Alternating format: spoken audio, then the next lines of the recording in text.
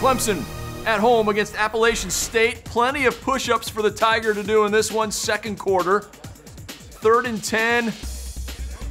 The interception. Taylor Lamb picked off by Carlos Watkins, and the big guy gets the pick six. Plenty to celebrate there. 10 0 Clemson on top. Still more than 10 minutes to go in the half. After another interception by the Tigers, Deshaun Watson turns it into points. Great pass to Charone Peake, back of the end zone. 24 yard score. It's 17 0. Wayne Gallman just had a touchdown taken away because of a holding penalty. So Gallman gets it again at the goal line, runs over a man. 23 yard score, 24 0 Tigers. Gallman 15 carries for 79 yards in the game.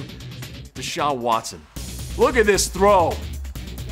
60 yards in the air. Peake at the other end hauls it in.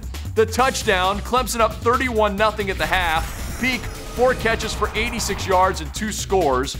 Then the second half, Watson had a great game overall 19 of 26, 248 yards passing, three touchdowns. The third, this one to Artavis Scott. Hey, without Mike Williams, Scott's the man, the go to receiver. He hauls it in, 41 10 the final. Next up, Thursday night at Louisville for the Tigers. I'm Jeff Fischel. You're watching the ACC Digital Network.